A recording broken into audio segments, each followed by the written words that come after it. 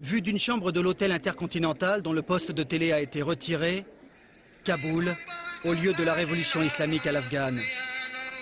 Ici, la reproduction de l'image est formellement interdite. Les talibans, étudiants en religion, veillent au grain, cachés derrière les vitres de leur pick-up japonais. À la radio, des chants talibans mais pas de musique, considérés comme fantaisies obscènes.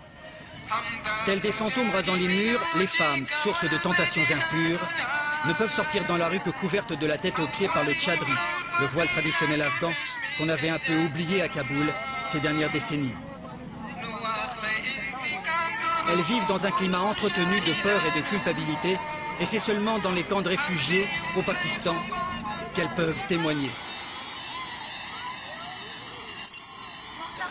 Un jour, je me rendais à un séminaire. Euh, je portais le voile, le tchadri même.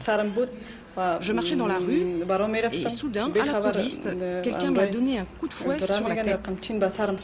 C'est alors que j'ai décidé de quitter Kaboul. Dans cette clinique, Nouria a pu continuer son travail d'infirmière alors qu'en Afghanistan, les femmes n'ont plus le droit d'exercer une profession. Ici, le tchador est comme un signe de libération, découvrant les visages de l'incertitude et de la douleur.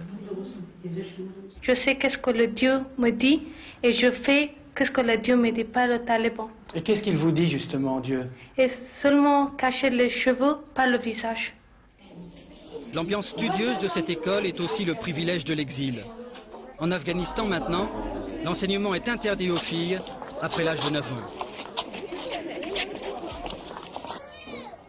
L'ordre taliban a plus d'impact sur ceux qui n'ont jamais accédé à l'éducation, comme ces familles pauvres qui viennent de fuir les combats du nord de Kaboul. reste chez elle, qu'est-ce qu'il y a de mal La place d'une femme est à la maison, dans sa tombe, pas dans la rue. Tourkepey, infirmière, pensait, elle, que sa place était à l'hôpital, dont elle a été renvoyée du jour au lendemain. Le médecin de discuter. En octobre dernier, le ministre de la Santé des talibans décrète que les femmes n'ont plus le droit d'être soignées dans les mêmes hôpitaux que les hommes.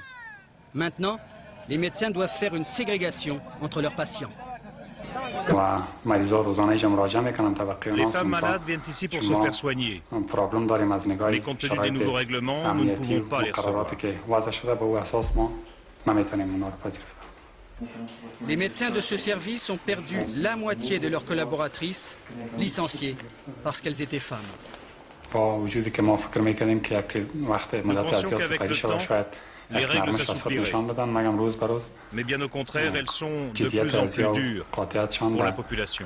قسمت مقرراتی که وضع کردن سر مردم زیاد شده میره Pour les quelques milliers de femmes afghanes qui avaient réussi à accéder à une certaine modernité, la prise du pouvoir par les talibans a entraîné un gigantesque retour en arrière qui a effacé, ici à Kaboul, 30 ans de progrès de la condition féminine.